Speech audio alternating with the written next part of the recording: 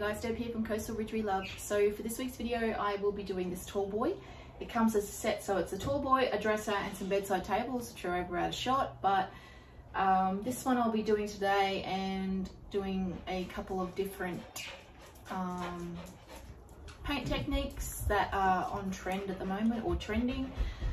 So we've got the um, dipped look. So I'm going to probably sand down to this and up and not sure what color but I'm also thinking of doing um, some more colors and some abstract line art um, I'll leave a couple of um, examples in after the intro but um, if you've seen that around it's a pretty big mural mural wall painting sort of thing um, on the front. So I'm planning to do the dresser, the tall boy and the bedsides as a set.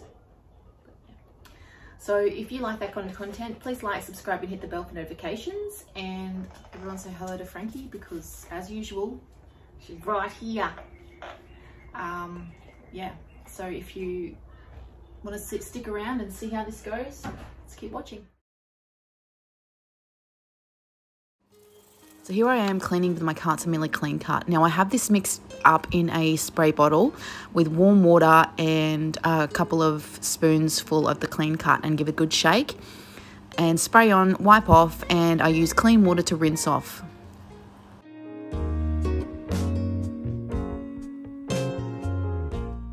Okay, so what I was doing there is, so this top here has cracks and sort of split a bit.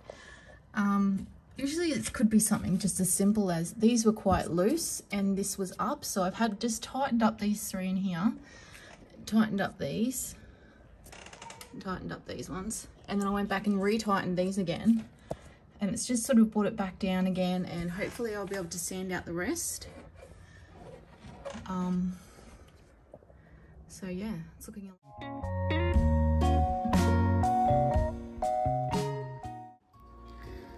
So I am working through my grits. So I started with an 80 grit sandpaper, um, went through to a 120 and I actually hand sanded with a 240 grit over the top of that. Um, it was quite a thick finish and I probably should have stripped it, but I went with sanding instead.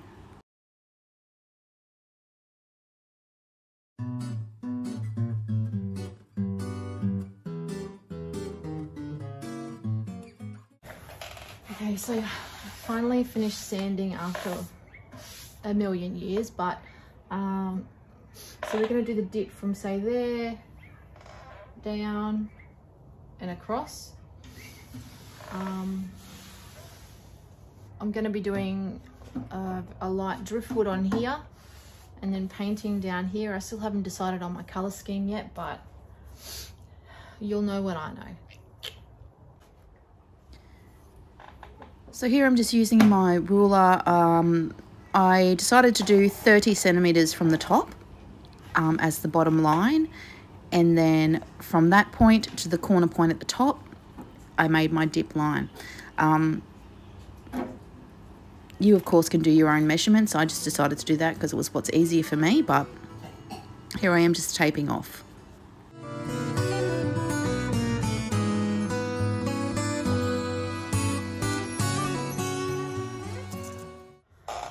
So the only thing I do know is I'm going to do, so this bottom colour, the main body of the colour, I'm going to do in my Carts and Millie Boutique Mineral Paint in Charlie Latte. It's literally my favourite colour. So I'm going to get going on this and the drawers that need doing and yeah. But I will prime this first because I have a Carts and Millie Boutique primer and adhesive bond that I'm keen to because of this raw bit and the dark bit. So yeah, yeah. So this is my Carts and Millie Boutique Primer and Adhesive Bond. Just in my little container. And so I did the, the line in hopes that it's going to um, stop the bleed through.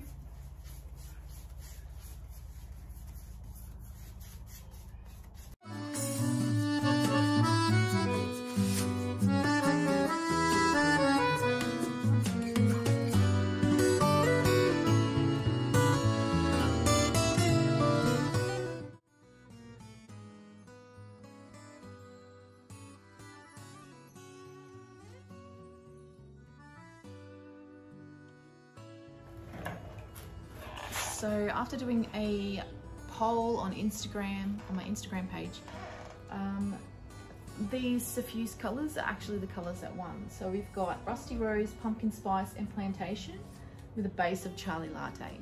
So um, I'm just going to get to sanding off all of the filler, get some primer back down on this baby and hopefully start the rest. So I've just um, done some of the clear varnish along the tape and I'm going to use this dryer because ain't nobody got time to dry them.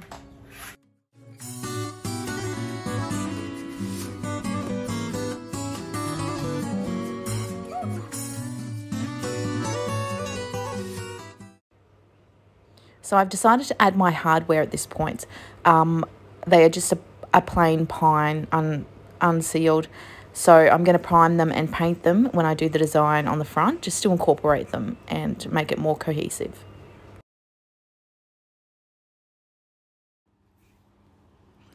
So I've decided to use um, below this line the Charlie Latte. Um, so I've done two coats, um, full coats on the bottom, um, and that's going to be my base.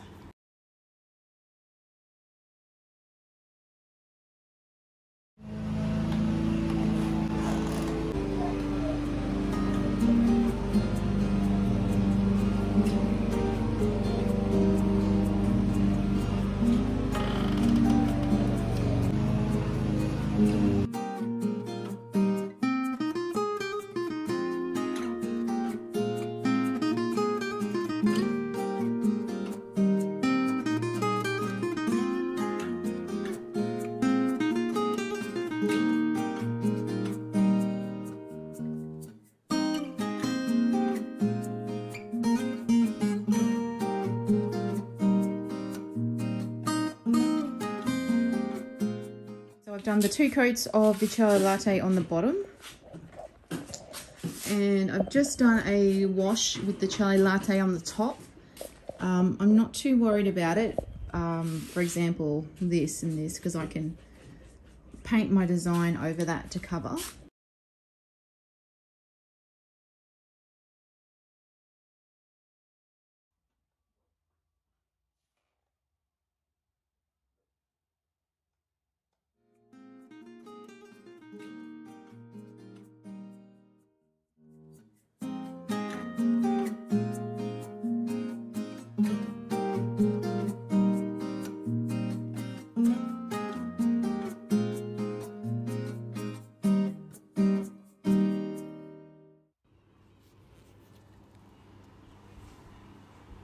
Please keep in mind, guys, that I'm in by no means an artist. So I'm just winging it here, um, having a go. Um, this first colour is the plantation, and I'm aiming to do a leaf. So the best bit about not having a plan is that you can change it up if you need to.